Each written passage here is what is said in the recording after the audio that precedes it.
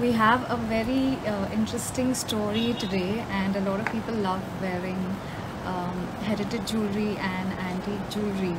So it would be ideal to bring in a specialist um, who expertises in this kind of jewelry and uh, can actually guide us as to how we should um, how we should purchase antique jewelry and uh, what exactly it takes to know if it is genuine or not.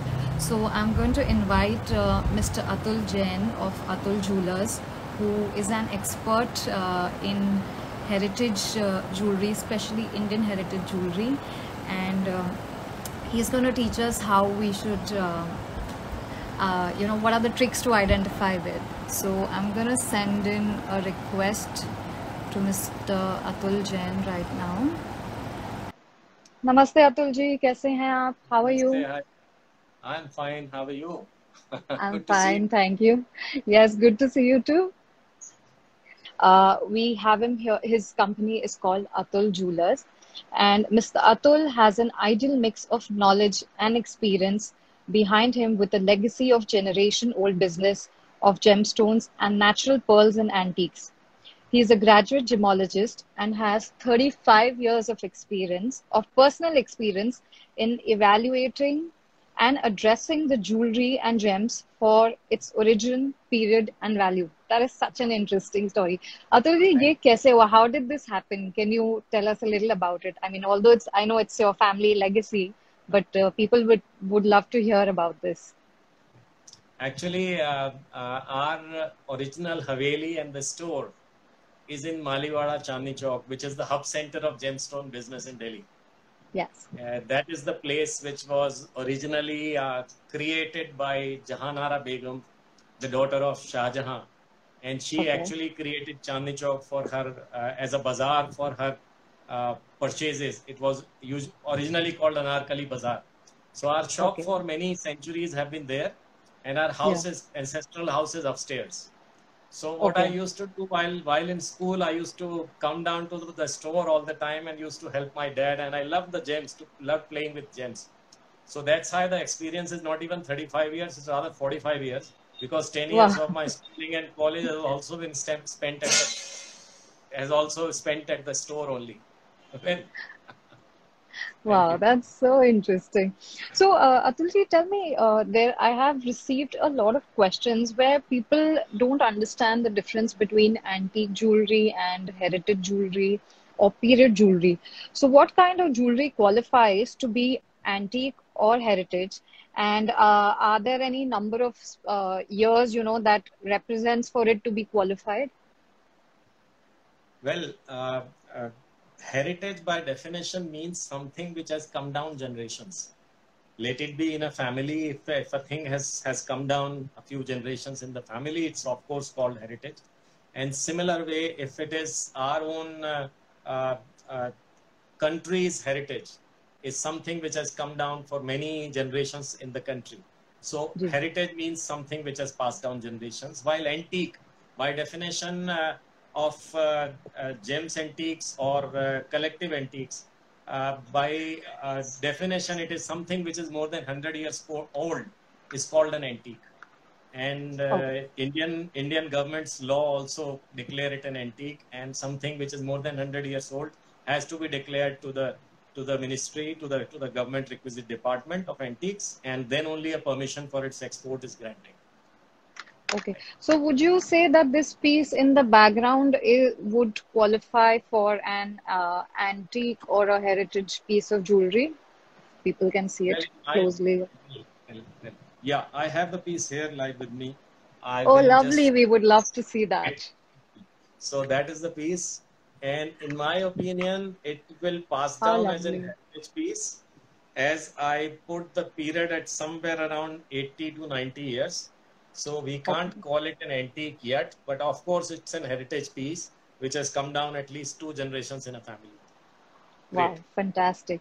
So I see the enamel over here behind. Can you tell us a little about the enamel of this? Oh, of course. Of course. See of this, this particular piece. Yeah. Yeah, of this particular piece. The enameling here is uh, we call it khudai enamel or the engraved enamel, wherein the enameling is, is done on a very thick sheet of gold by engraving through the sheet and the enamel is, is, is then uh, heated and different colors of enamel are actually baked into it like we do ceramics. Yeah. So enamel, as we all know, is nothing but a ceramic, a form of glass. And, yes. and these the tiny bits of glass are placed after scooping the metal out of the sheet and then it is baked to different degrees of uh, heat before the enamel okay. sets in. But the beautiful okay. part about this particular piece of enamel is the intricacy of work, which which certainly shows uh, uh, an imprint of uh, Indian Mughal uh, impression into the piece. And okay. the flowers and the and the blue and the red enamel are one of the most difficult ones to get the best yes. color out that is a good piece anyways okay so moving forward what according to you would be the key elements to uh, determine the age of a jewelry is there मतलब उसमें कुछ खास होता है जिससे हम इसको identify कर सकते हैं well i would say the the most uh, it requires one of the most experienced eyes to find Absolutely. the, to determine the age of the piece but since we are discussing it today we can surely go on one by one and try and determine the age of some of the pieces that we have on hand. So uh, if uh, if you have any of the slides, I can I can tell you by first looks. Okay, great. So this is this is one of the uh, enameled pieces yeah. wherein I have the bangle. Okay, okay. The, the enameled bangle is here. Now there is yeah. something unique about this bangle. If you see the the bangle has not got almost it hasn't got any wax into it except for the tiny okay, part of the, the flower the wax is in. Okay? okay, the inner part yeah. is just a thick sheet of gold with no box. Usually, these kind of bangles used to have a box here where a lot of wax was put inside. But this particular piece, the, this part is free of any wax. It's a thick sheet of gold. And the interesting part is, and one of the sides is a blue and red enamel with a different kind okay. of uh, design and the other side is a different enamel which is red and green enamel so yeah. we see the typical checkered kind of blue enamel shows us the mughal influence we can okay. or cannot say whether the piece is from the mughal period that is that is 17th century somewhere yes but i would say by the by the setting of the piece and by the deterioration of the of the foil behind the stones we can somehow make out that the piece okay. is somewhere in, uh, in during the 18th century and secondly, we check the stones that are used. The stones tell us a lot about the period. So on, on uh, gemological checking, we found out that the stones on this bangle are all white sapphires. And these okay. are uh, faceted white sapphires, uh, which were quite prevalent in the, in the late 1800s and early 1900s. So okay. we would put the period of the bangle is somewhere around 18, late 1800s. So that's how we come, we come to uh, actually determine the, the period of the piece wherein now now the second picture you are you are showing sorry i wanted to show this ring uh, which oh. we wanted okay, to talk okay. about. Let's judge the the ring. Now now as we see this is an rc rc means a, a, a mirror. So the yes. ring includes a large mirror in the middle wherein uh, the, the, wearer can see her face through into the mirror. So it's an rc so this rc clearly has a south indian impression wherein the, the work on the sides is mm-hmm. clearly from South India, very intricate jali work, which okay. is still done the, done in South India, many many parts of South India. Now this RC, as we look, look through it, uh, the, the, the, the, glass has has got a eroded reflection part, which mm-hmm. certainly is a is a show uh, happens over a time. And yeah. since these kind of rings were prevalent in 17th century, so somebody has actually tried to make this ring uh, look like that of a 17th century. Now, how can we say that this doesn't actually belong to 17th century and is a look alike? So if yeah. you see a close inspection, we saw that, that the glass yeah. on top doesn't have many wear marks. So yeah. if somebody is wearing a RC and its and its uh, uh, reflection part has got that much of eroded with time, then by common sense anybody can say that the, that the glass should also get a lot of wear marks on it or a lot of scratches okay. on it we use okay. a glass table we use a glass uh, uh, on, a, on a frame even even a picture frame it gets uh, roughened over time So the Yeah. glass of this, we see that it is quite polished. So Okay. that that makes uh, sense that that is it doesn't belong to a very old period, but it is a look-alike made to look like old. Yeah. Okay, so that is antique. That is the difference between antique looking and antique when we usually say that. Yes, yes, yes. yes. And, uh, the being made like that. Uh, I would also like to ask you about uh, this Gajra piece that you told me. Um, one second, I'm going to show that as well. Somebody, meanwhile, is asking what is the full form of RC? RC. RC is a Hindi word. If you can spell it out Yes. in Hindi, R, R, and Sa and E ki matra, that is RC. So RC is a is a there is a old saying, Haath kangan ko RC kya? Ji. So the uh, there RC means a mirror. In in Hindi, RC means a mirror. So it's a ring with a mirror is called a RC. It's not an RC as in English R and C. No. Okay. Uh, tell me a little about this Gajra bangle also. Okay, so this is a Gajra pair which which is which has got a lot of Basra pearls very intricately done on it, and you Yeah. see this this resembles a, a Gajra which is which is a hair ornament made of flowers, made of uh, motia flowers, and and that is traditionally called a Gajra in in Indian context. So Yeah. uh, and it is it is worn around a hand, a wrist, or in the in the hair. So Okay. typically this gajra, this Yes. this replicates that that uh, that uh, netted piece of motia flowers, and and that's why this is called a gajra. So it's a gajra of pearls, and this is typically used in uh, Marwar, Rajasthan, and most of the old households still have it. And Mhm. this gajra is made of basra pearls, and the enameling is of very good quality, and the enameling is uh, is a khudba mina again.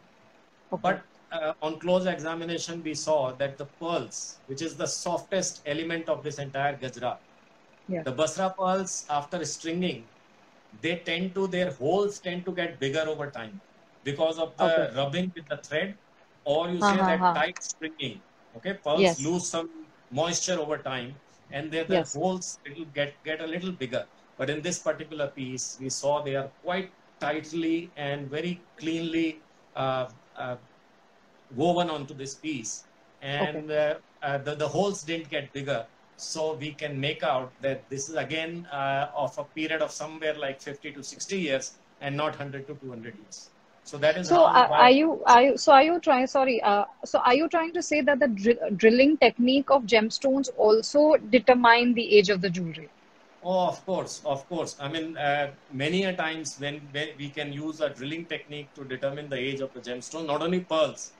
In pearls, it is fairly easy where we can actually make out how much time the hole can get bigger like that, depending on the piece, whether it is strung into a necklace or it is strung into a bangle. But even in rubies and emeralds, if you can uh, see, I'll just show you a sample of a of a. Uh, if you can just show me the picture, we we have some pictures over here Uh, Uh, yes. of an emerald necklace or, or a or a spinel necklace where I can show you how drilling uh, just by looking at the drill we can examine and uh, determine the age of the piece. Okay, okay. So friends, here is a uh, a, a necklace of spinels. So Mhm. these are, uh, uh, of course, these are uh, old Burmese spinels, and if we can see, there are a lot of wear marks on the on the spinels. And uh, if if we can see a uh, close up of the piece, yeah, here if we can see through the piece that one of the drills is clearly seen. Firstly, we see that there is some black uh, material inside the hole. That is uh, dried oil because spinels and emeralds when they are used we have to oil them because they've got a lot of fractures in it so a normal oil is used which tends to turn dark or black over time so a blackened oil is first mark of an of an aged piece. And the secondly the most important thing that we can see in this particular bead is that the hole is not meeting up in the center. If you see the hole is done from two sides. In the olden times that is about more than 70 80 years back the and older the holes were made by uh, raw tools by drilling from two sides. And usually these holes didn't tend to meet. When they didn't meet they we could we could distinctly see a point where the holes are just touching each other and not meeting hmm. precisely in the middle. While in Yeah. the later period, the holes were done used by use of machines and they were they were going straight through. So we can make two things clear from this that the period of the drilling is more than 70 or 80 years old. And by looking at the oil which has turned black and by looking at the wear marks of these spinel beads, we could make out that the period can be somewhere between 120, 150 or even older. So that's how we can tell about the age of the of the beads just by looking at the wood. That's a very interesting part. Yeah, I even I did not uh, know this part. So would you also say ki in emeralds it would be the same way, just as uh, you Yes, mentioned in the other string? Emeralds by, by nature are softer than spinels or rubies, so the wear marks are certainly more distinct.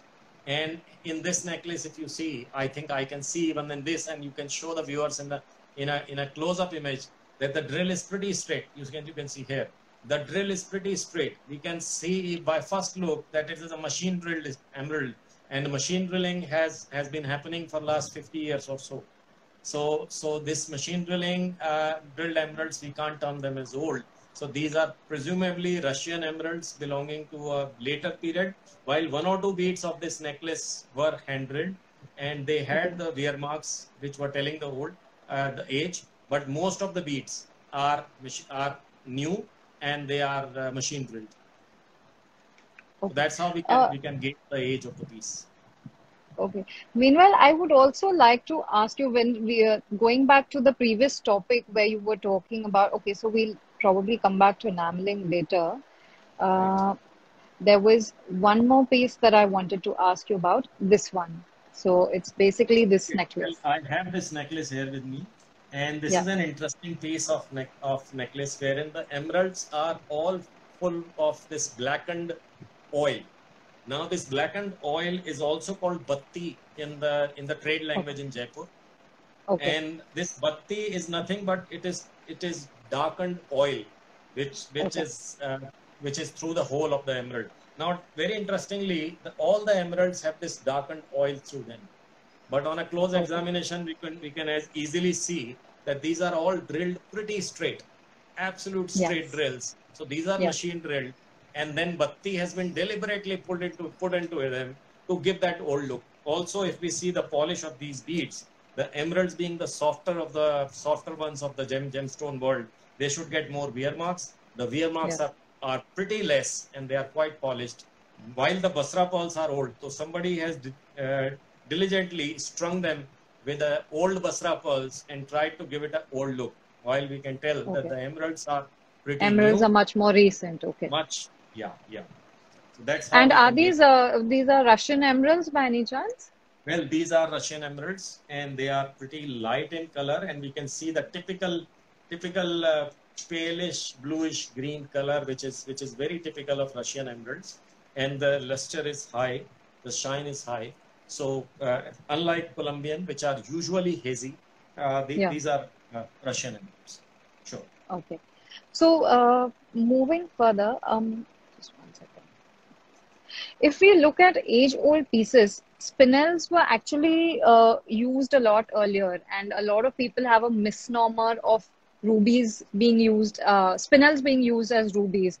So, uh, however, it was said that consumers considered any also any red color stone as rubies or spinels. So, can you throw a little more light on that? That what was the First difference of between the two? First of all, let me dispel the myth. The spinels are the more rarer of the two. Yeah. So that's a fact which which very few people would uh, would know that spinel is actually a more rarer material than the ruby. So by virtue of being more rarer, the Yeah. good quality spinels are really really tough to find. Okay, Yeah. but since oh How that, that necklace, I Yes. can I can I I think I can show you that necklace. Oh I wow, that would be a treat for us. Oh, sure, sure, sure. Uh, if I can see that necklace, here it is. Just a moment. Well, I'll, I'll, I'll just show it to you. We will wait for two minutes, and I'll show you that Perfect. necklace. So, Perfect. so, Guys, so, meanwhile, you can look at this. Look at this necklace that he's gonna be just showing us, and I'm really excited. Okay. So uh, this necklace has got uh, rubies and spinels together. So I, I'll Okay. relate a very interesting story to you. It's not a story, it's a reality, in fact. When I was young, my father used to show me packets of ruby and spinels mixed together as cabochons, which he said he has scooped out of loads of enameled jewelry. I said, Why did you break it? So he says, Atul, we, uh, due to this new law, due to this new law, we have to, uh, that, that, that was uh, uh, late 60s when Yeah. uh, the Indian government passed a law that the gold of 9 carat and above purity cannot be sold in open market. Only Okay. some registered jewelers can sell it. Otherwise, Okay. so there was a lot of breaking of jewelry in the market. Some of the old timers, people sitting here or Yeah. uh, looking at our uh, live page would certainly understand what I'm saying. They broke that jewelry with their bare hands and Okay. took out the gold and the diamonds and the rubies and spinels from that and basically well, you know.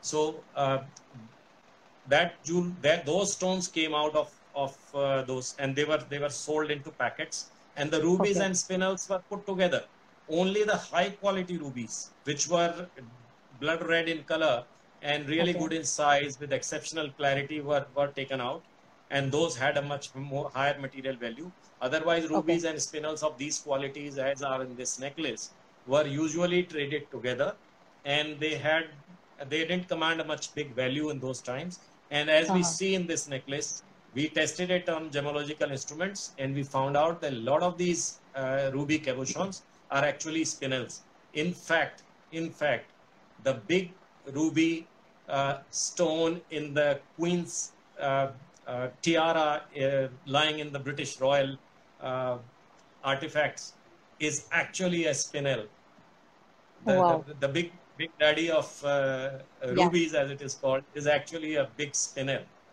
but it's equally valuable even being being a spinel it's it's it's just uh, you can't assess the value of that grand piece Perfect. So we'll wait for you to show us that piece. Will it be possible?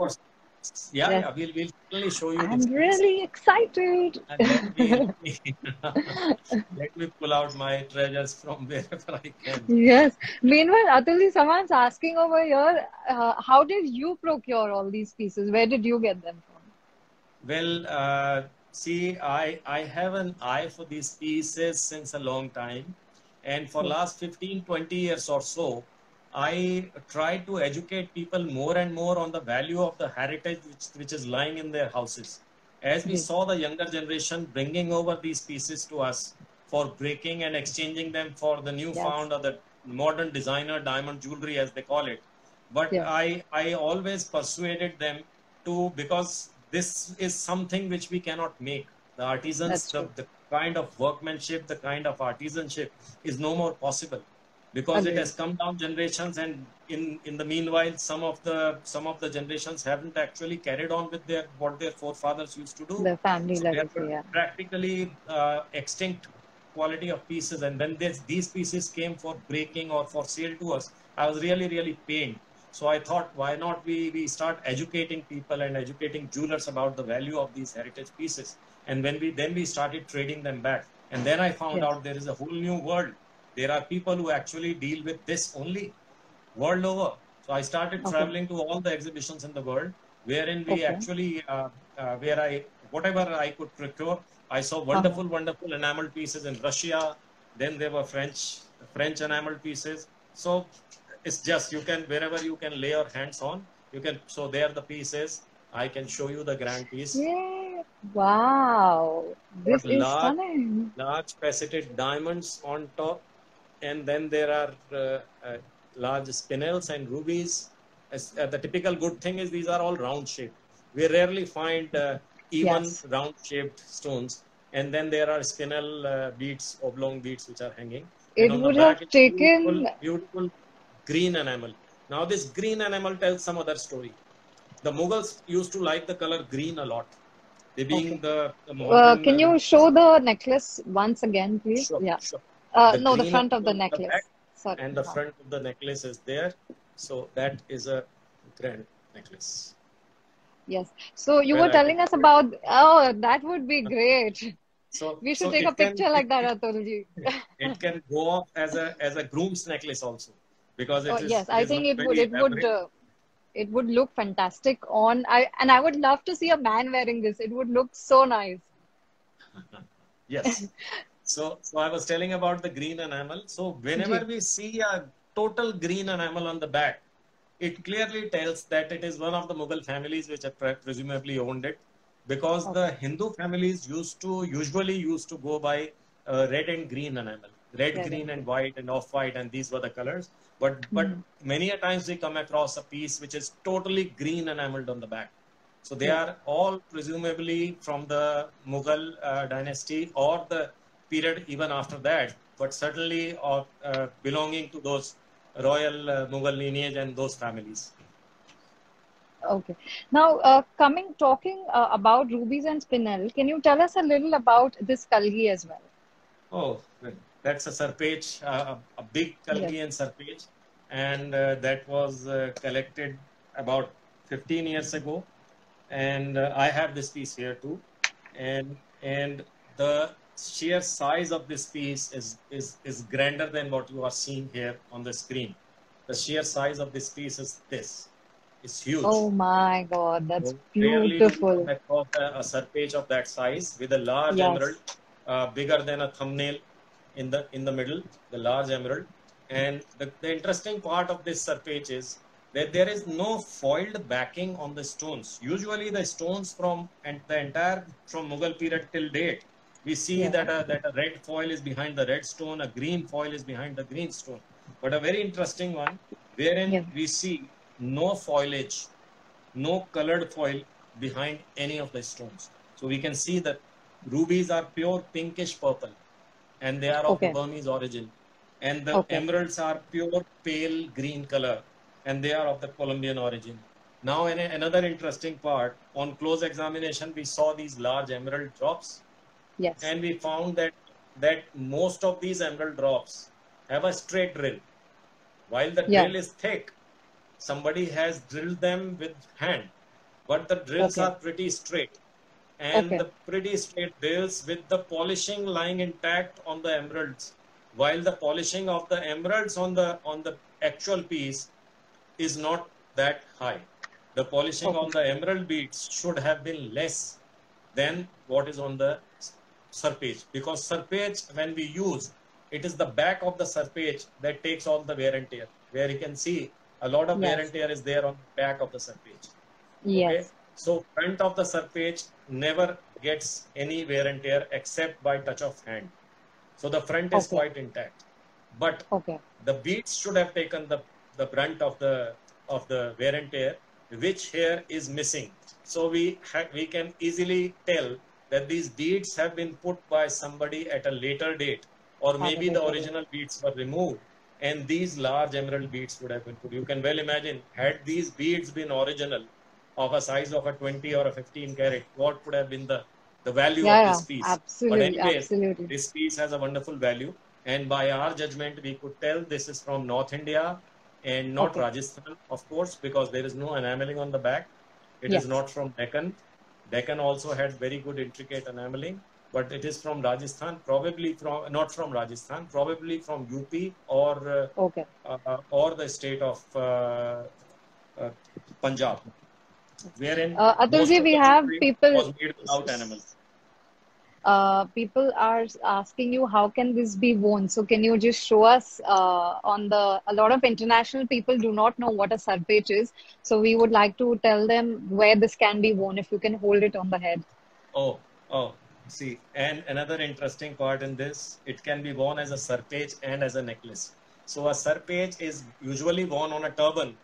I'm not having a, you are not having a picture, otherwise we would have shown them a picture of, of a Maharaja wearing a turban and then a serpage like this. Maybe you can Worn- hold it like this, and I'll take a picture like that. And, Oh, and and and it is worn on a turban, and the size of the turban is double the size of your head.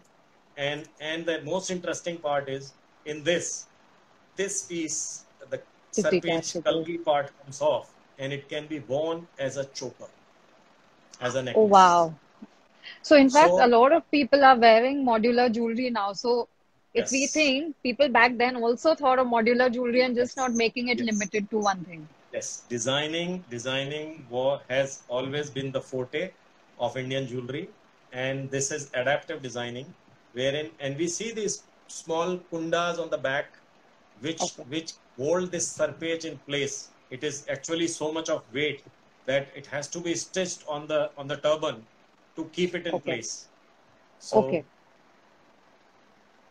so much so about this piece. It's absolutely stunning. I mean, uh, I just can't get my eyes off uh, it. But since we were a lot of people asking, you, there was no enamel of this. Tell me, does uh, there um, is there a difference in different kinds of enameling also? Like uh, I think in India and internationally, there were different kinds of enamel used. So can you throw a little light on the different kinds of Oh, enameling? Yes, of course, of course, we'll come to that. But uh, but somebody has asked whether a turban is worn by by men only. So let me tell you, a turban was worn by women warriors also, and the women royals, whether a king or a queen, they used to wear a different kind of a turban, which is more feminine in nature. But but the warriors, women warriors, and there is a whole legacy of Indian women warriors. They used to wear turban and these ornaments were Wow. worn by them equally. So that was the times when when India actually uh, looked at them with equal respect. I think So- uh, also specifically in the me- uh, medieval era, Yes, that's when a lot of uh, uh, women used to also wear it as armors or part of their entire uh, look. of course, of course, of course. lot of baju bands. Uh, has come into existence. It uh, after this uh, the the armor was worn on the on the upper area of the hand, and then it is replaced by a by a baju band. and in the in the Mughal times and and in the medieval in the medieval times, lot of uh, uh, lot of uh, the Indian weaponry has has been made with use of jade and uh, rubies and emerald. We'll show you that once it Yes. come to it. So right now, your Yes. question about enameling techniques. Well, Yes. uh, So, or maybe if we if we want to uh, talk about the enameling later, maybe we can talk about um, is there a difference between the antique? Yeah. So since you were talking about the jade uh, pieces, um, can you tell us a little about the difference between antique heritage and collector's jewelry? If yes, then what are the differences between that? Oh, wow. Well, uh, antique, as I just told you, something more than 100 years Yeah. old usually is, is termed as antique in the world of jewelry or in the world of Yeah. artifact even. And uh, heritage by heritage, as we say, something which is passing down generations, of course, is heritage. And something Yeah. which is which is collectible is collectible for its uniqueness, either by way of art or by way of artisanry or by way of extinction or by way of sheer exquisiteness of, of the non-duplicable gemstone. Maybe a gemstone is of, of such a unique size that it becomes collectible. Maybe a gemstone is of such unique quality that it becomes uh, collectible. Maybe it is so rare that it becomes collectible. Sometimes a whole suite of emeralds or a whole suite Yeah. of rubies becomes collectible by virtue of its being a, a collectible uh, collection a single stone may not be collectible, but we get seven of them of the same quality and same shape and same size. It instantly becomes collectible. So collectibles are certainly those things which have something unique, which is you are. It is difficult to find a stone or a gemstone or a jewelry of the same nature becomes collectible. So here you are, you are showing me a, a, a, one of my collection pieces which are not for sale with us. this particular necklace, I'll just show you how this necklace uh, finds a place of uniqueness. It is a very small thing. It's a simple, small necklace consisting of seven tukris. Okay. So this is a tukri necklace, which are which are there are seven pieces, but but Wow. if you can see in the close up, the glow, the glow, glow of the maroon enamel. If I Yeah. see the piece like this, it just glows like a mirror. Yeah. So the, the sheer glow of this maroon enamel uh, shows us uh, like like as if these pieces are carved out of rubies. So Yes. the kind of enameling, the enameling technique, the, the as I told you earlier, the maroon Yes, uh, color enamel of a certain color is the most difficult to reach. It has it needs to have the purest of gold behind it, and then it takes a, a lot of uh, experience on the part of the person who does the enameling to be able to reach that. And if you see the back of this necklace, though it is a little bit of damage, but Mhm. the intricacy of the work behind it, only on close examination, when we are using with a magnifying glass, we can see with the clarity the birds and the flowers are defined. Okay. And, and simply it looks like a miniature painting, each and every piece. So thi- this is It's what makes beautiful. it collective. So this this is a particular example of a collectible piece of art, wherein the, Okay. is a jewelry, it is a jewelry piece, but by virtue of the artistic manner in which it has been created, it becomes collectible. Yes. So And there are the and the uh, are the uh, pearls natural in this by any chance? Uh, well, the, these these pearls which are here on the side, they look like natural Basra pearls, but they are Yeah, old cultured pearls. the everyone. old cultured pearls have a history of more than 100 years. So these Yeah. these beads are nothing but uh, very old cultured pearls, and uh, they are. Uh, but still, the neck, as I told you, the necklace is collectible for its art. Yeah, that's what I'm trying to show people the enamel also over here. So if you can take a closer for the look. natural pearl or for the real big ruby, many a times piece becomes collectible for its art form. There are not many artists who, who can create that kind of work. Uh, Absolutely. And uh, there is one very interesting piece that you had uh, shown me, which I'm just going to um, tell you to talk about over here, is this beautiful um, wow. Baroda brooch. So we have a picture here of this. that's, Guys, if you can see this. another, well, you have the picture, I have the piece. So that's another collectible piece from, Oh my God. from the royal collection. So that's uh, that's something what the Westerners would, would say would go on a tiara. So this is Okay. something which is which is an alternate of a tiara, wherein th- these are two hair two pins, which make it uh, with with using this we can put it on a on a on a on a turban, and on top of this it goes that this duck feather uh, turra, which is called in India. So this duck feather turra is worn on it, and this finally takes place, uh, finds its place on on a on a turban. So this uh, usually is a sign of a royal, uh, maybe uh, uh, uh, any of the royals, and uh, Okay. they usually wear it. And this piece is not that grand as we say. We have seen very very grand pieces. So probably this this belongs to one of the younger royals. Usually the the kids of the royal family used to wear uh, these uh, uh, kalgis of this size. Yeah, yes. It has got a ruby in the middle, and the and the all the Golconda diamonds and the and the typical cut of the diamonds and the luster tells us that these are nothing but Golconda diamonds. So they uh, and the and the uh, very motif of the piece uh, puts it to Deccan, and this is part of a Deccan culture. And uh, what caratage of gold will this be in? Usually, the caratage of gold prevalent in those times in Deccan used to be somewhere between 14 and 18 carat. Whenever they were setting diamonds to make these diamonds last. Otherwise, we see all the gold jewelry from South India to be of highest purity, even higher than 22 carat. But Okay. but when they used to set diamonds and rubies, the purity of the gold was accordingly lower to make the metal harder. As it is as is the practice till today, we Yeah. make jewelry in 18 karat gold only. So for the diamonds, so that is why they, it has been able to last that long with not a single diamond falling. Okay. And uh, can you tell us, uh, Atulji, a little about Golconda diamonds and approximately what will be the size of this ruby in the center? Well, uh, this is not a large ruby. It is about half a carat, the ruby in this. And the size of the Golconda diamonds in this whole brooch would range from about 5 cents up to 20 cents.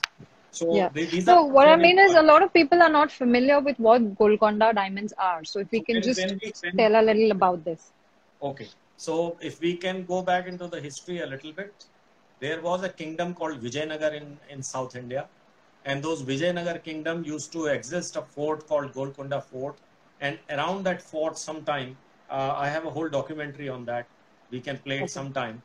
That, That that would be these diamonds were, were fi- first found. So the earliest origin of diamonds which were found was in India, and India only somehow uh, uh, developed the way of polishing these diamonds. Then these, uh, through the Western travelers, these diamonds found their way to Western world, and they developed on this cutting. And then an old European cut used to came into existence, which was more brilliant than the diamonds being cut in India. So typically the Indian cut diamonds in those times were also called Golconda cut, but invariably okay. till 1800s and late 1800s, okay. the, the diamonds that were found were only originating from India. And though all okay. those diamonds were from Golconda, and the gemological research says that most of these diamonds were of type 2A variety, wherein no nitrogen was existing, means no impurities were, lesser impurities were existing. So the diamonds used okay. to shine more than the diamonds found elsewhere in the world. So till date, all the diamonds with type 2A certification are mm-hmm. given another certificate wherein, wherein the description of Golconda diamonds lies in that report and tells that most of the diamonds from Golconda were of this variety. That's such a beautiful story. Uh, can you also briefly tell us about uh, how the jewelry in India has evolved through different periods? We have to go back to the period of Harappan culture. Right. That would be right? great for us because, to know. Because some of the world's earliest jewelry has came out of uh, the Harappan uh, digging sites. In as much as somewhere near Delhi, I, I came across a site uh, which is Rakhi Garhi. Rakhi okay. Garhi is in Haryana, and a lot of golden art, gold jewelry belonging to Harappan period, which is in the form of gold washers. You see, hundreds of gold washers with a drill in the middle were put together yeah. to create a necklace of gold and those uh, that jewelry has been found so right dating back to harappan culture india has had a very rich heritage of jewelry and coming up to gupta periods and even in our rig vedas uh, which yeah. is like 2500 before years before christ the rig vedas describe the period as a gods and goddesses and royals wearing loads and loads of jewelry that has been greatly described in our uh, in our Vedas. And and so so jewelry has been a part and parcel of Indian culture. Coming to the modern times, uh, the the arrival of Mughals actually, they yeah. they it saw a revival. Before yeah. that, the Indian jewelry was evolving, but when Mughals came in and came in the enameling techniques, so they actually revived the the, the techniques of jewelry and they patronized a lot of jewelers. And yeah. then then it came uh, another era when when Raja Jai Singh II he uh, set up Jaipur city in uh, in early 1700s, and he uh, and he uh, invited a lot of Indian jeweler families and enamelists to set up okay. their base over there. And from then on, started a whole culture of Indian enamel, which is also called Mughal enamel, when when it used to have a lot of Mughal impressions on it. And then on came the British era, when the when we can largely see the impact of the Western world on the Indian jewelry, and then on we came into the 20th century. So we can see all that, and it's, it, it will require a completely different discussion, and it can take on yeah.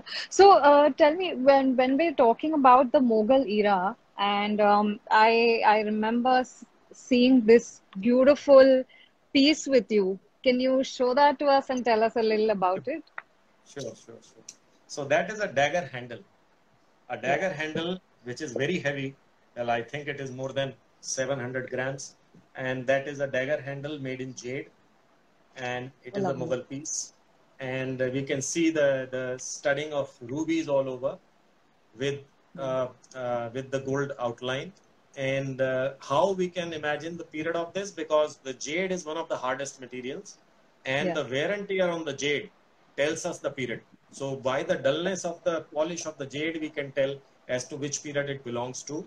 And uh, yeah. uh, a lot of uh, stones are missing. If we can see some of the gold lines are missing and the smoothness yeah. of the gold and all. The, anyways, this piece uh, here is, is, a, is a shining example of the armor that the Mughals used to patronize. Uh, and this is a dagger handle, which is, uh, which is in nephrite jade with studded with Burmese rubies. So this is a good example of uh, articles which Mughals used to uh, patronize. And uh, apart from this, uh, I have another bowl, which is which A is jade bowl, article. which you were talking about. Yes. Right. So uh, this is a jade bowl with a with a goat head, and uh, uh, another bowl of this style and little larger than this I saw in the British collection in the National Museum in London, wherein uh, Shah Jahan, the great Indian Mughal king, uh, his name is inscribed over here on that bowl, and that is a larger sibling of this. So Oh, of- of- lovely. The quality of the jade can be very well seen by the sheer transparency of this jade. It is also called uh, marmari uh, yashap, which is marmari Okay. means it is marblish. The color is whitish, as that of a whitish marble, and uh, and that is called a marmari yashap. So this jade bowl is one fine example of the artisanry of those times. Well, I can tell you, if if if one of you is a sculptor or somebody loves sculpting, they can try their hands on this a simple test to check it is you can Yeah. take a sharp steel knife and try Yeah. making a scratch on this. It doesn't make a Oh, scratch. on the, the jade Wow. is harder than a steel This knife. is a closer So look imagine how that. hard it would be to carve a, a jade piece and to Yes. carve with such intricacy. It's it's all hand carved in those times. No machine tools Oh. used. Wonderful work. Wonderful work. Wow. That is the collector's piece. So, um, moving forward, I'm actually trying to f- uh, find also the video of that while we are talking. Uh, since we were talking about this, you were also mentioning about some of the uh, pieces that uh, were from the British era. Can you tell us a little about that? Well, uh, for, if we talk of the British era, uh, a lot of Indian royals actually, they uh, uh, they they had lo- loads of jewelry made in India, but but then they had loads of uh, raw, raw gems lying with them, and the Okay. stories, as the stories go, that that the Indian uh, kings and princess princes they went on to uh, to to their Europe trips, and uh, they hired the the best of the European jewelers uh, including the house of Cartier, to make Yeah. jewelry for them. And and these jewelers found found a very good clientele in them because where else could they find such such uh, treasure houses of gems and diamonds? So one of the pieces I have in hand, which you can show to your uh, viewers here, Oh, is- wow, is lovely. belt buckle belonging to the uh, Baroda royalty. It's, it says RJG. And the G stands for Gaikwad and the RJ stands for the first two names of the royals who used to. So this is a beautiful example of European workmanship wherein a typical French blue enamel which glows by itself is, is uh, used on behind the diamond initials and Okay. on the back is typically 18 karat gold while the entire piece where the diamonds are studied are uh, reminiscent of the Victorian era, wherein Okay. a certain percentage of gold was mixed into silver to create this uh, white metal in which the diamonds used to shine more. In fact, till date, a lot of European jewelry is created using these two-tone metals of uh, yellow and white gold. So, uh, and this has got a royal emblem on top, which is a, like a crown, and uh, and so these are again these pieces. That is what make them collectible. The the French enamel actually uh, is wonderful. What we can see the beautiful French blue enameling. Another sample of uh, wonderful enameling I saw in the Russian museums, wherein Yeah. uh, the the very beautiful apart from the famous Faberge eggs they Faberge, the house of Faberge has done some really, really beautiful enameling on different kinds of artifacts, including boxes, cigars, uh, simple brooches, lapel pins, what have you. Sorry, I, I your voice went off. So when we are talking about enameling, can you show us uh, this particular piece that you were talking about for the enameling? Oh. Let us. And what uh, are, I mean, uh, also what are the different kinds of uh, enamels that are used? If you can tell us uh, a little more about the motifs and what uh, era are they from? Well, the the the the, uh, the enameling came in from Europe, and there was was a lot of experimentation because we know uh, the city of uh, Verona, where where uh, and and near in Italy, where, wherein uh, a lot of glass work is made, and uh, and it is famous for that. And then there Yeah. is enameling techniques which came in from France, which came in from Italy and Germany also. So a lot of Yeah. enameling was experimented in the Western world, but their motifs used to be uh, more of geometric patterns. Okay. But when it came to India, India, the, the enameling was greatly uh, uh, enhanced in the Mughal periods. And the Mughals used to love the, the motifs. Uh, as we all know, the Mughals didn't like the, the, the Hindu gods and goddesses printed on them. So they, Yes. they always loved the flower motifs and, and uh, uh, right from uh, uh, the, the uh, famous throne of uh, peacock throne, wherein uh, apart from peacocks, a lot of flower motifs are, are done. Or this bangle, yeah, this bangle is a beautiful example of Mughal enamel, and uh, Okay. the uh, this is one of the uh, treasured Mughal pieces, wherein the wear and tear very clearly tells about the period, and you see Yeah. the, the the maroon enameling on on the inner part is largely intact, while the enameling on the top part of this bangle has uh, has seen a lot of damage. So that is again a, an example of common sense that when you wear a bangle, the inner part touches your hand, which is soft. So the softer surface doesn't get much of the wear and tear, while the brunt of the Yeah. wear and tear in the bangle comes from uh, where- wherein the bangle touches the other bangles or or the other parts of uh, while when you are when the wearer is wearing the bangle, the bangle touches other surfaces. So the most of the damage is on the outer part, which is very clear and very evident on this piece. And this is one of the good examples of Mughal enamel. Another necklace which we were talking about is this famous Mughal period necklace. And this has got large crystals on top. These are rock crystals, large ones. And this is uh, this has got 11 pieces. And the interesting part of this necklace is not on the front, but on the back. And if I can If you tell can you, or you can see see, this show, necklace, wow, yeah. the back is beautifully. Now you can see the very interesting part, the two blue elephants on the two pieces, and after that the bird motifs, and after that we can see the the white birds and then the two peacocks, and it is perfectly paired, the two Yeah. pieces. But the most intriguing one is the center one, where we see a dog. Now, interestingly, I haven't seen a piece where a dog holds the center stage. So presumably, this necklace belongs to some of the one of the royal houses, where the Yeah. the, the, the, the royals have actually commemorated this no- necklace in the memory of their pet dog. So here we see a white dog taking the center stage. That is the uniqueness of this necklace, and that is how it has become collectible. The wonderful stories go behind the pieces. That is that is so uh, nice. Now, uh, talking about uh, enamels, uh, there is also a Banarsi pink and uh, Meenakari. So, can you tell us a little about that as well? So Banaras has been a seat of Indian art, lot of Yes. culture, and uh, as we all know, Banarsi silk and uh, Banarsi work is all famous in the world. So, so Banaras is also famous for one of its enameling techniques, and I would so show you here a very antique and uh, collectible necklace from Banaras. So this is a pink enameling technique. Here is a necklace which is which is uh, all set in diamond uh, rose cut diamonds, and and on the back is a beautiful enameling from Banaras. So now, as we see, the Banarsi enamel fades over time Okay. as against the, the red and maroon and green enamel as we see in the from Rajasthan. The Banarsi Yes. enamel, a very typical part is after wearing it fades over time. As you as as we use it, it rubs. So if you can see very clearly in this piece, the green enamel hasn't faded, while the Yes. shaded pink enamel has faded, and more so, the fading is way more clearly evident in the lower part of the piece. So you see, the piece is dangling.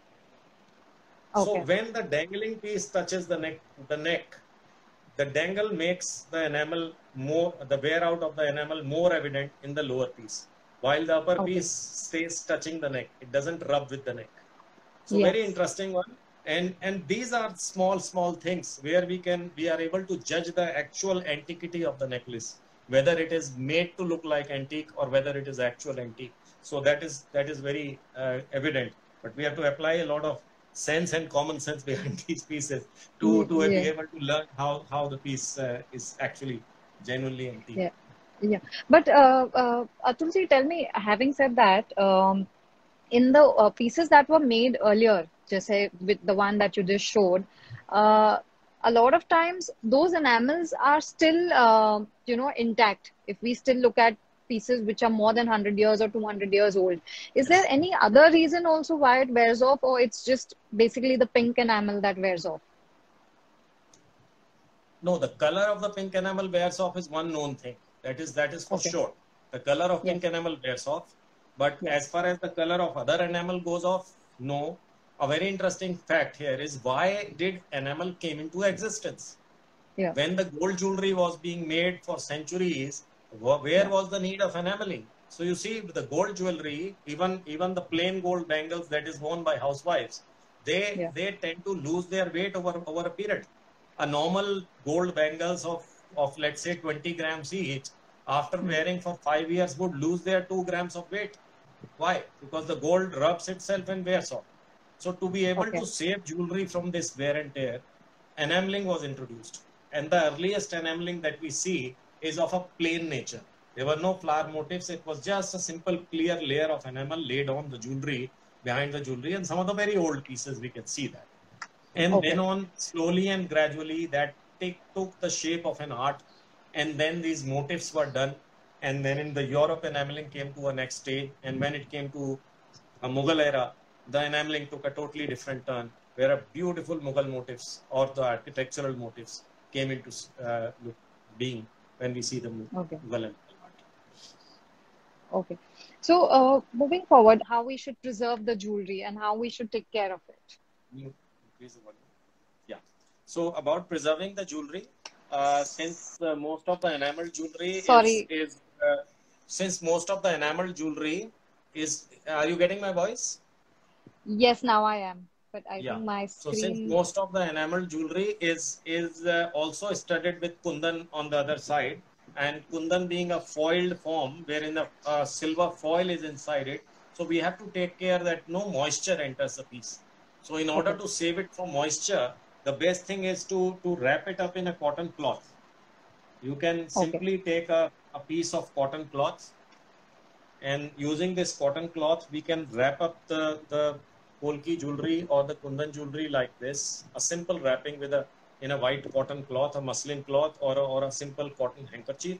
Once yes. we wrap it up like this, and now we can place it in a in a plastic box, or we have these kind of plastic plastic box ready made with a with a yes. muslin cloth inside we get yes. these days and yes. we, we can it can be placed in this now a special uh, taking care that don't try to place your kundan polki jewelry into lockers into bank lockers ah. for a long period of time okay. if it is for a period of 10 15 days it is advisable to to put it otherwise for a longer period of time the problem is that a lot of lockers have this fresh uh, smell of paint which is nothing but okay. a lot of chemical vapors inside the lockers, which okay. actually uh, turn the the gold uh, uh, oxide layer is deposited on the gold. Now, yes. Uh, if, if at all, if at all you come across something like that, that your gold has turned copperish, the gold outline on the kundan piece has turned copperish, then a very simple action can be done on it to, to make it shining instantly uh, by using a simple hack which is nothing but a pencil eraser. Okay. A simple pencil eraser from one of your children's geometry boxes. So you can pick it up and uh, erase the uh, using the eraser on the on the oxidized gold part. By a simple use of eraser, you can erase off the, the oxide and the gold becomes shining back again. So this is a simple way to take care of your kundan jewelry.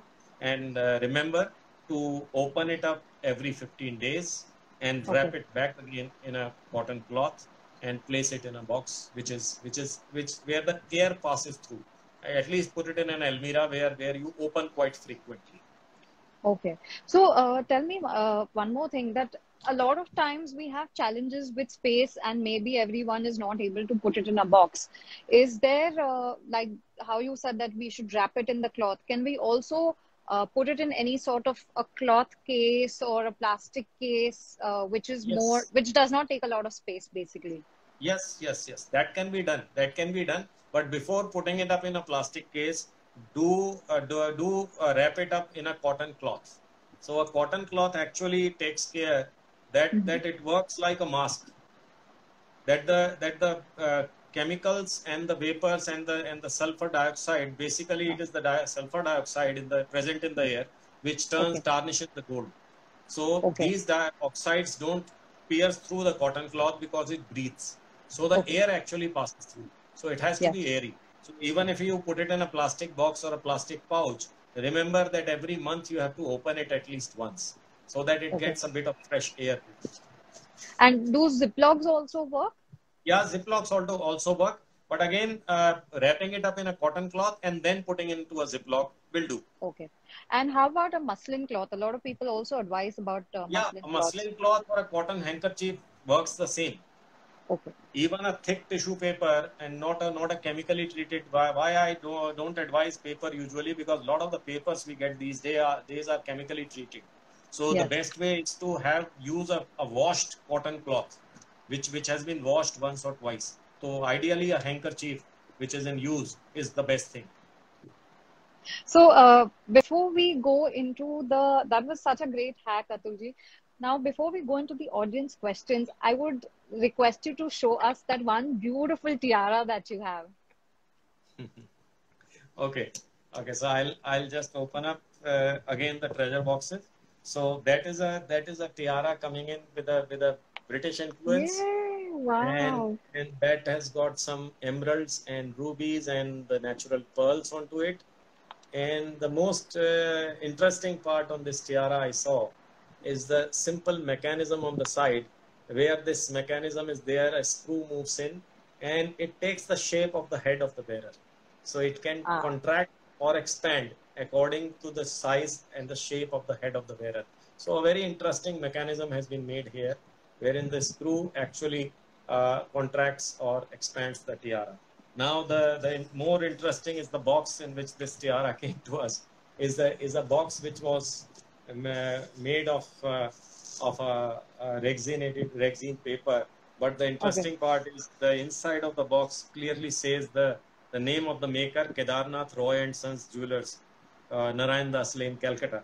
And this is sometime in 1920s or 30s that this Oh, is made. So, Lovely. so many many of the pieces bring their story along. When we get to the when we get some uh, some of these interesting pieces from any of the families, we, we try to get the story behind it. That who made it, for whom, and how has it been passing on through generations.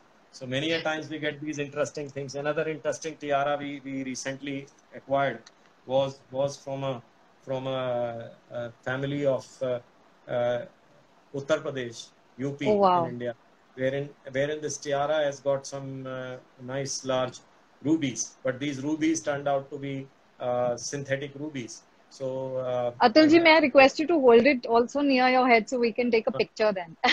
oh, well, this is uh, it, it's it's it's one of the ladies' tiara actually, and Yeah. and uh, it's it's worn by and again it's got this mechanism uh, behind it here The adjusting. behind Okay. it in this part also. So these three mechanisms make the use of this uh, into into uh, according to the size of the head.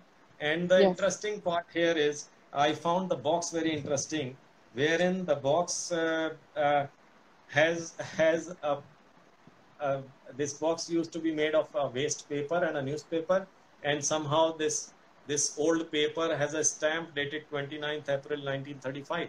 So you see, Oh, wow. this interesting thing tells us uh, many of the the, the the time period. So it was probably made in 1935 or 36 or maybe 1940 because uh, uh, that is the time period when the Britishers were uh, here, and a lot of uh, these jewelries had this uh, European styled impact on the on the pieces. Again, So, in fact, uh, in sorry, uh, complete what you were saying. Again, it is made in Calcutta. The company name is written as Hiralal Nandalal Khetri. So, you know, you know the uh, the Calcutta work. Uh, the Calcutta work is is primarily uh, the uh, the Britishers uh, put put their foot first in Calcutta, and uh, a lot of Calcutta workers they started working for the British, and a lot of British influence is seen in the Calcutta jewelry and diamonds and pearls and rubies were the first fascination of the British, and a lot of jewelry was, were made with their for them. Okay. In fact, so when when please show us the box again. Let me show them the box again. that is how the tiara box opens, sir. Wow. If you can see, there is a company name. So beautiful. Inside it, and then, and that is how it is done. Great. Wow. So in fact, when you showed us the earlier, you showed me the earlier tiara. Uh, there was the necklace that I am wearing, uh, the choker that I'm wearing now i uh, when i was talking to my mom she told me that this is also from the british era. This is almost from that that time because it's made exactly the way that the tiara was made. Yes i can i can make out the influence and and a lot of chokers were strung in those times. In fact chokers came into existence uh, these kind of chokers the simple ones came yes. into existence sometimes in the early 1900s when the britishers used to wear it. We can we can see a lot of uh, British uh, parties, if we see the pictures, a lot of ladies wearing chokers. The pearl chokers were particularly very, yes. very much in vogue in those times. And that's that's what that's when she told me that uh, this is almost hundred years old, and it has uh, Basra pearls, and it has a British influence because this was worn by my grandmother, which was almost hundred years back. Wow. Wow. So every piece has a story, and and it's wonderful. It's it's it's actually interesting to go into the story of a piece. Yes. And per- see. So, so um, now before we questions in case yes. So uh, i have a question here. What is thapa jewelry? What is thappa jewelry? Okay. Yes. Thappa by thappa we means is stamped or pressed. Okay. So whenever a gold sheet is pressed it gets bigger and bigger so in kundan jewelry what we just saw was an example of a of a deep engraved kundan jewelry, which we call khudai, khudwa work. Khudai means digging. So okay. khudwa work means where the, the gold is, is dug into and scoops are made, wherein okay. enamel is placed and then baked, and the enamel comes to level with the gold layer. So that is the khudai meena. Then there is something called thappa meena. So this is a good example of thappa meena, where you can see the enamel is actually raised above the level of the surface. So okay. we can see the bulges of enamel on this. So yes. since the enamel is so, this is basically a thick layer of gold, which is thappa, nothing but thappa. And on that, an impression is made. Instead of engraving, an mm-hmm. impression is made, just a simple impression by the use of a die. Okay. okay. And on those, on those small dips, pieces of enamel are, are put into, and then it is baked. So enamel oh. raises a little above the, the, the layer of gold. And this is called jewelry. And, so, and these days, so and this would this would be which one? one ah, against this one, which was Khudai. This okay. this was a level enamel. I have this piece. So if we see this piece, this is a totally leveled piece. If we if we place our finger, it is totally leveled, leveled out. So so this this piece has got this is not thappa. This is a very thick layer of gold, very thick sheet of gold, which is which is a scooped and scalloped, and then enamel is placed on it. So this is largely made of gold, while a thappa jewelry, the weight of gold, intrinsic gold is much less. So these days uh, they have thappa jewelry with as little as one gram of gold. Oh, so uh, uh, talking about all this, uh, there's one interesting fact about the valuation. How does one value this kind of jewelry, or how does one determine what is going to be the price of this? Well, as they say, the value lies in the eyes of the admirer so you have to you have to find a proper market for these pieces. If you find a market, then the value is there. So when it comes to a value of a heritage piece, if I tell you that this particular piece which you are wearing and yes. has come to you from uh, uh, from somebody who is holding it as heritage. Now, would you like to part with the piece? Absolutely no, not. Not easily. No matter if you if I offer you double the money that you paid for that. So yes. you see the valuation changes. So valuation changes with, with the desire. So what we do is we try to inform people more and more about the jewelry that we hold, whatever heritage jewelry that we collect. and it is the desire to collect a piece that derives drives the value of the piece that is why you see most of the antique jewelry most of the heritage jewelry finds its place in the auctions many of the auctions are held online many Yeah. of the auctions are held live so these auctions as they take place around the world even in india some very big auction houses like Saffronart are doing it very successfully. So and and of course houses like house of christie's house of sotheby's they are holding their regular exhibitions. So Yeah. and and and auctions. So many of these heritage and collectible pieces find their place in auctions wherein the bidding takes the value to a, to a whole new dimension. So more collectible the piece the, the higher the value only you need to find the uniqueness the usp of the piece what is so unique about the piece the moment a jeweler is able to find that unique selling proposition of the piece he is able to he can derive the right value for the piece So going back a uh, to the previous question where we were talking about uh, enameling, is uh, the Thappa Meena still being done? Is it being practiced yet? Yes, yes, and I can see some questions coming up. That do you do you have a thappa piece to show? Well, well, I can always say, uh, Prerna, we can we can we can always hold another session where we can Yeah. show them all the varieties of Meena, including the thappa Meena and what is being Oh, done that today. would be and lot of fantastic. contemporary jewelry we can show them that what is being done today. So a lot of technology being applied these days, and many uh, some some really nice jewelry is being made even in the this field. But whatever we have discussed today is all heritage, collectible, art, antique. So Yeah. uh, when when we come to more contemporary, we can discuss about that. Uh, so talking about heritage and antique, uh, is there a way that these pieces can be certified? The antique pieces. Yeah. Yes, yes, there are there are valuers. In fact, uh, uh, I uh, we do we do that also for for certain uh, jewelry houses. So it Okay. can be certified, and and the fair value values can be estimated. The fair periods can be estimated, and this is this is uh, not that much in practice in India. But if we we talk of US and Europe, there are a lot of uh, appraisers who actually appraise the value of a piece basis its antiquity and the value of a piece on, on the basis of its uh, of its uh, uh, replaceable value so where that is where the antique pieces are scored that the, the replacement value is very high because usually if a, if a piece is a genuine antique and is uh, of a certain artistry it cannot be easily replicated so that is where it gets its value Absolutely. so we see a question coming up. I just saw a question coming up from uh, Meena something. So uh, somebody was asking that that uh, is it possible that an antique piece is is absolutely intact by the by the virtue that it is being kept in a locker all the time or, or being not being used at all.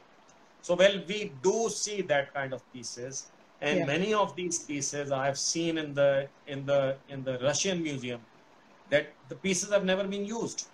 They were just made, bought by the royal houses, and kept into their museum or their lockers. And many of the Indian royal houses also, the Indian royals you were, who were who were uh, actually uh, uh, fond of collecting such pieces. The pieces were bought and collected. Even even in today's life, we see many many uh, of our clients who are very fond of buying jewelry. They just buy jewelry for the sake of buying and they, they like the piece and they don't, don't even wear it for, for a long time so it is very much possible that the piece doesn't see uh, the the light of the day and it it, it just by lying it uh, for hundreds of years it can become antique yes it is very much possible but then there are ways and means of checking it. There are ways and means of, of detecting it as to what period this kind of artisanry has was being made as to what, what kind of period the gemstones have been used what is the cut of the gemstones that is being used in this jewelry is it relevant to that period? So we can always we can always detect. Okay. Uh, the next one is um, if we have any heritage jewelry, so we can ourselves name it heritage, or do we need to get it assessed from the government? no no not not that. Uh, only for the antique factor it has got to be assessed. Otherwise uh, it doesn't by for the heritage aspect even even in-house certification.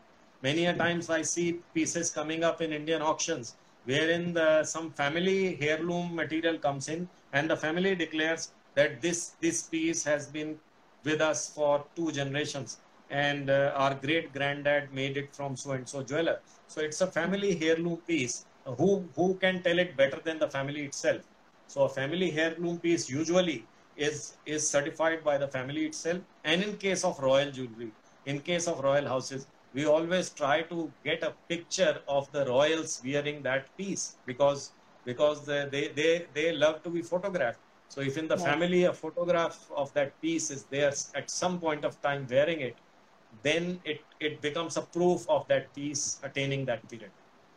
Absolutely. Um, so uh, someone's asking, as a collector, are you can one still wear these pieces? I think absolutely. Why not? Yes, why not? They are wearable, but you have to take due care. Yeah. Many of the pieces are in that condition that if you don't wear them carefully, they may damage further or they may break. Yeah. So many of the pieces you see, we don't even change the thread. The piece is so antique that even if I change the thread, it may lose its antiquity to some, Its charm. some. So many, some of the pieces we just uh, put it, okay, this is not to be worn, even not to be worn because it's it's reached a stage where it can damage if we wear it. But many, most of the pieces are wearable, and it is like jewelry, which is which is durable and wearable. Why not? Uh, there was one thing that we had to uh, speak about, is uh, in all these uh, pieces, is there a particular kind of motif that was used that would signify certain kinds of era, or are there any pieces that you can show us that depicted any sort of era with certain motifs? Well, yes. Uh, most of the Mughal pieces have a certain stamp of the era.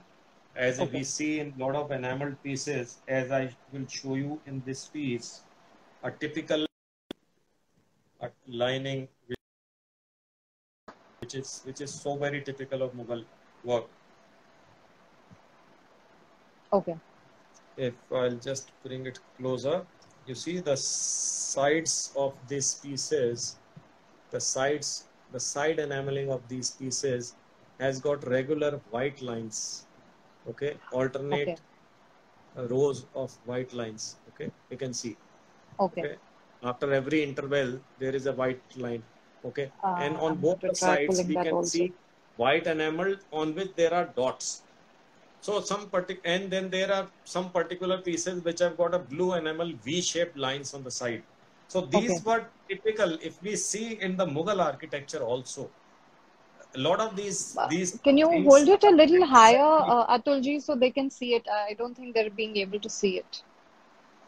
you see uh, if they can see uh, this Yes. is this is how it is there are there are white parallel lines which are crossing the side edges okay and there are tiny dots on both the sides of white so we see that this kind of geometrical work on the sides is uh, there is a typical v i don't have a sample here where a typical v is made with a blue enamel on the side edge of the piece so this Okay. we have seen uh, uh, the similar impressions in the Mughal architecture of the same time of the period. Okay. So Okay. basis this, but it is a combination of factors which actually tell the era of the piece, and it is a estimate of the it is a best of the estimates of a of a third party who doesn't have an interest involved in. Okay, so we we go by third party evaluations. Some some experts get together and and we, they actually evaluate and put the piece to a particular era. So it is to the best of their knowledge, but it is Okay. basis of some uh, architectural or some book or some uh, knowledgeable evidence which Okay. actually puts the pieces into that. Uh, there was one piece that we had to also talk about is this particular necklace that you have, um, which had lion motifs on it. Oh, yes. I think we missed a very important necklace here, and that should be. Let me see if I can find that necklace here. So that necklace had a lion motif, yes, and oh, oh, oh. Rita, we had a necklace with a lion motif in the back, on the a big hard. There it is. Well, I have this necklace. Uh, well, you can see this. I'll show it here So well. this is a sign, this is a royal insignia of one of the Deccan states, wherein these two lions, and these two lions are very clearly visible on the back also. you can see that the lions are are carved out in golden enamel. Exactly, if you can see, these lions are carved out in golden enamel. So, so this is a royal insignia, and basis this we could uh, determine the period of this necklace to Deccan, and uh, and uh, it can be early 1800s or late 1700s, and uh, there is a lot of quartz used in it. The all the settings are in quartz, but but the the sheer weight of the necklace uh, very clearly shows that no almost no wax has been used in it. It is all solid Okay. gold and uh, and the stones that have been uh, studied on it are with with with uh, almost negligible wax behind them and the foiling is good while the enamel on the back is pink enamel golden enamel very very different colors of enamel is used on the back but Yeah. the but the two lions are very clearly visible and and in those times the lion insignia was reserved for the royalty Okay. so that is why we could we can actually make out this necklace.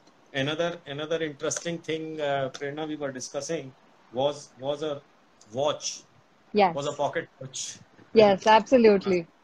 Well, we, when we were discussing the British uh, uh, period and the British influence, and so here is a pocket watch with a lot of British influence, and this has got large emeralds studied all along.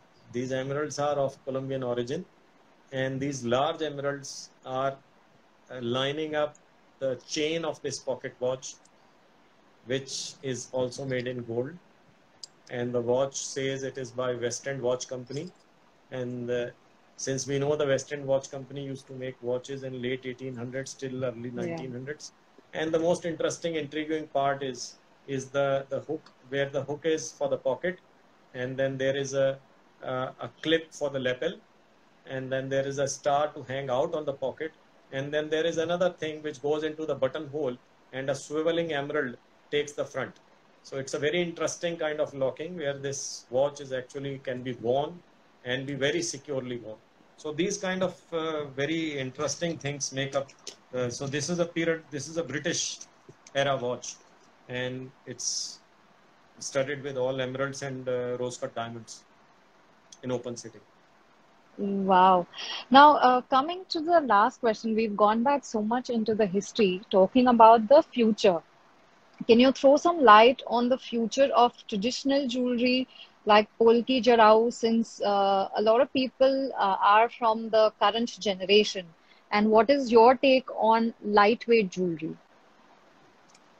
Well, I think Polki traditional jewelry is here to stay because what we have lately seen that the revival of the old Indian tradition, the revival of the old Indian arts is one of the touchy subjects for the new generation. Yeah. They want to know what, what kind of history they are sitting on. With the, with the kind of education they've got, with the kind of uh, uh, uh, the, the wave of uh, enlightenment and, and, the, and the revival which they are they stand for, uh, I don't think they would like to destroy their centuries old culture. They know what the history and the culture means for them. So uh, we have been working in this direction for long, wherein we wish to establish the work, the artisans in their paternal place. We don't we the way we work is we don't uproot the artisan to bring them to a factory in a in a in a town like Delhi or Mumbai or Jaipur. No, we try to support the artisan in their native place let them work in their native place. We just support them there and they can work from there and and give us the art the artistic jewelry whatever whichever region in india they are making from. So it is uh, and that is what we we advocate to the younger generation that this is how we make. This is how we can return back to them. This is our way to to to give back to the society. So if these facts are properly taken care of then certainly uh, the new generation is going to like and revive this. And the Polki jewelry, uh, uh, the one good thing has happened in the past two years is most of the Indian top designers have actually uh, patronized the Polki uh, jewelry and the traditional Indian arts into their, incorporated into their contemporary uh, trousseaus. And that is why the new generation is liking it.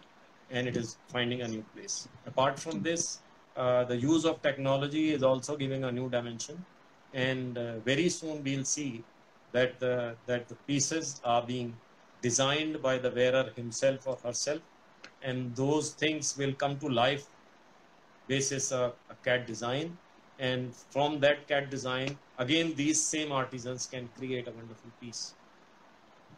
Uh, but so talking about the current generation, it gives me another question that uh, the current generation is all about gadgets, travels. Their preferences towards jewelry has changed more uh, instead of more towards you know like or electronics or you know luxury things. How can one convince them to buy jewelry now? Well, uh, as far as I am concerned, we try to dig into history. We try to dig out the stories that are related to a piece. And once you relate these stories, I will give you a very good example of a very of a very big designer. Her daughter was getting married.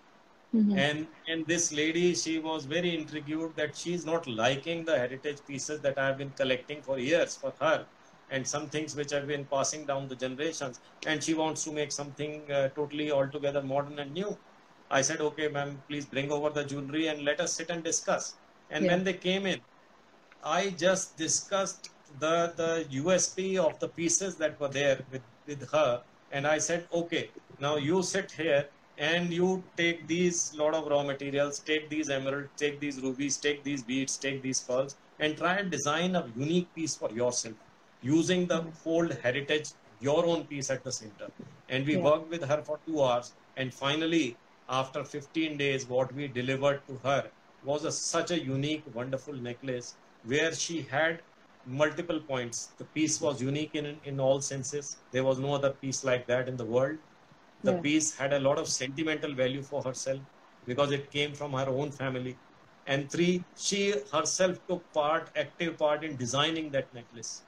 So Oh, you see, these Yeah. things combined together gave her a beautiful satisfaction of wearing her own piece, her own creation at her marriage. And both the mother daughter were so happy that that that that the heritage piece remained in the family, though in a new form. Absolutely. Yes, absolutely. see, I think that's one very contemporize the whole important thing. thing. Yeah. Yes.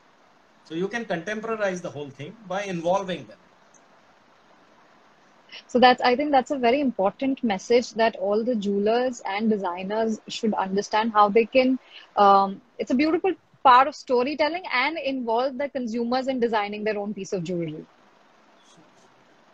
So, uh, uh, can, it's a very easy thing. Uh, any any jeweler can pursue it at her own at his her own place. Absolutely. I, I think it's uh, it's very uh, simple and a great way to involve the customer. Any last message you would like to uh, convey to the audience, Atulji? I would say just keep your eyes and ears open around yourself. Maybe another treasure in lies lying in your own house. And uh, what, what I do is I have traveled more than 25 countries. I try to go to to to these flea markets. I try to go to these antique shops. I try to go to these to these uh, small jewelry shops littered around and try to find my own treasures there over there. And and uh, all the more some every time I come come across such an interesting piece. Uh, last time I was wandering in a in a in a one of the lanes in Paris, and I found a mom and pop shop with very few pieces with them. And I very interestingly I found a, a, a cigar pipe made of cornelian agate, but a beautiful maroon color cornelian agate, and even more interesting was the box in which it, it was carried. And and it was my my my own interesting acquisition from that city. So you can get Wow. these small packets of joy when you travel across. Yes, You all you have to do is uh, keep your eyes and ears open. Absolutely. That is this. that is another very important message that you have conveyed to us because uh, people who would travel, they would just get busy seeing uh, uh, places one would enjoy or go bar hopping or go restaurant hopping. But I think that's a great way to explore the city and also collect jewelry. Certainly, yes. There is a part of culture hidden in every city. Absolutely. Thank you so much, Atulji, for your time. We didn't realize it's already an hour and a half, and there's still so much more to learn from you. Guys, everybody stay home, stay safe, and do not go out till we get permission to go out. Um, all my thanks to Atulji and all the audience for uh, holding up for so long. Thank you very much. Signing out for now. Bye. Thank you.